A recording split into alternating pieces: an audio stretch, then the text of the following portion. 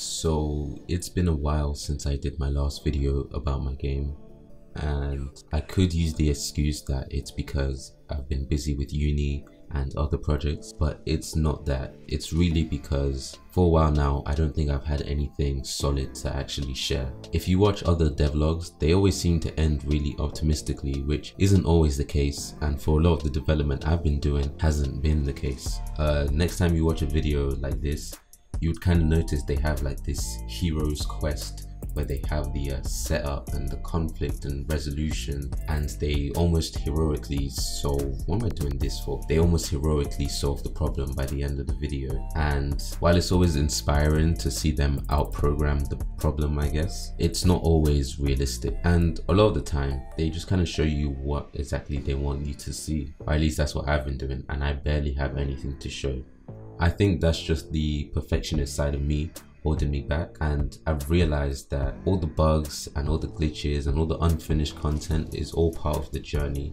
which really matters. I don't know if this is making sense but basically I'm just going to be posting a lot more about the game. But although for this video I actually have some solid improvements to show off so yeah let's start the video. So in the last video this is what my characters looked like in the game I think it definitely works for a stylized game, but since day one I've always had issues with the model and I always knew that I was going to have to change it eventually. So all my life I've always basically been into superheroes and anime and they're basically what got me into drawing and it's inspired my art style so much. So over the years I've kind of developed this sort of stylized anime-esque style which I've wanted to see reflected in my game and that character model just did not look like it at all. For one, it's a bit too bulky, but two, it lacks customization, especially in terms of morph targets or blend shapes. If you don't know what morph targets are, they're basically a way of deforming a 3D model without completely changing it.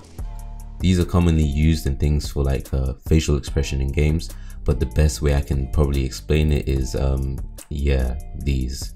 See, this model in general lacked morph targets, which means I was very limited in terms of character customization and couldn't even do complex facial animations.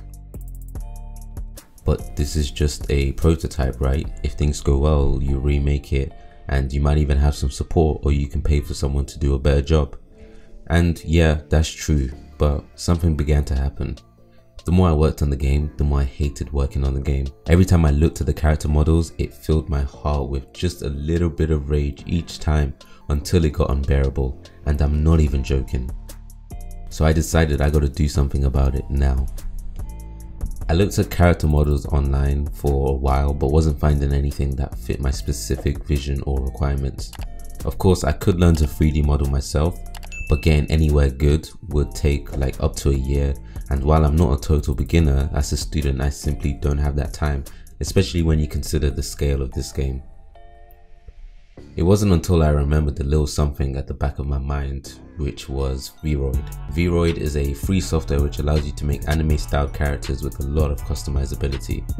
Some very big customizability. It's mostly used in VRChat and VTubers, but it can be used anywhere really. And there's a plugin that takes care of importing it into Unreal Engine for you. But there was two issues. One, my game is very delicate. I've had issues where changing one variable in a struct could destroy my whole project. And two, 90% of Vroid modules just look way too young and that's not going to work for my game. One of my issues about anime, especially shonen, is their obsession to send literal kids or teenagers to their deaths or deadly situations. And I'm looking at you Naruto, Jujutsu Kaisen and Hunter x Hunter. Even in My Hero Academia which has like legal systems in place to prevent this, they still have 15 year olds fighting giant robots as part of their entrance exam. So for my game all the characters who fight are over 18 and their looks need to reflect that. But the old character models made them look like they were well into their 30s and I was aiming for more uni student age. Thankfully, Vroid gives a lot of freedom when it comes to character proportions, which meant I could create more variety in terms of characters. I say that, but practically it was just young characters or really young characters. And the body types were pretty much female or femboys, so I was still limited in terms of options. But then I also figured that things like clothing choice and features such as facial hair, moles or wrinkles could go a long way in making someone look a lot older so there's no need to get too worried about that. With all this in mind, I felt like I had a solution that would finally not make me hate my own game. Around the time when I was implementing this, I had a uni project which was to make a short interactive story game and I was going to use the other character model that I've been using because I'm lazy but I thought this would be a good environment to test out this new Vroid solution. So I did a first test and I ended up with this model and it wasn't bad I guess. If you guys want to know how the game went, I might make a video on it, so subscribing and liking will let me know. I used this project as a way to just like test a bunch of assets out and write a lot of corny dialogue, but I ended up getting an 80% on it, so I guess I did something right. Anyway, I imported it into my main game and then I realized I might have made a mistake. When importing from Vroid to Unreal, it might look okay in Vroid, but the size doesn't quite translate well into Unreal, so the characters were way too tall. It took a few rounds of playing around with sizes and proportions till I found something that finally fit. For a while though, I was still unhappy with the models, but I kept on changing things. I also started working on a system that would let me swap out character models for faster testing. Then I realized I accidentally created a skin system which was on my checklist anyway, so it's kind of a win. Still, even when I had the stable point with the character proportions, the models still felt a bit off. For one, they looked young and two, they also looked, well, kind of tubby.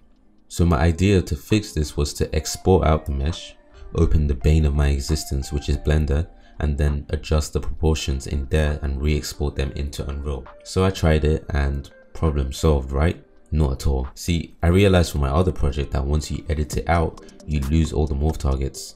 So once again, I was stuck. But luckily, this was one of those days where I was not letting something like that stop me.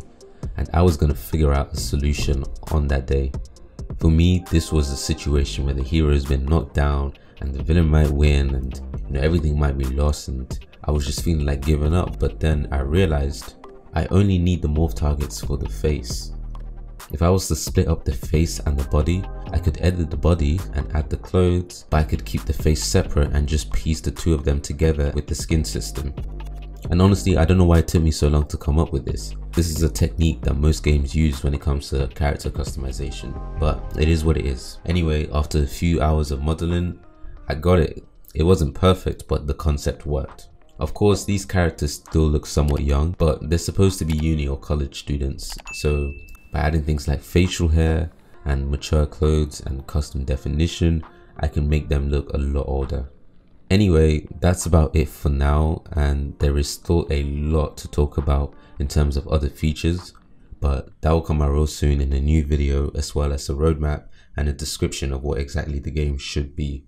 So if you guys are excited for this, please hit the like button, comment, subscribe and just let me know what you think and yeah, I will see you next time.